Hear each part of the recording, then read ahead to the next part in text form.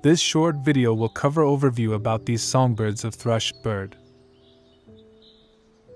What are thrushes birds? Thrushes belong to the passerine family Turdidae and are plump, soft plumaged birds that feed primarily on insects and fruit. There are over 170 thrush species worldwide that occupy a range of wooded habitats from forests to suburbs.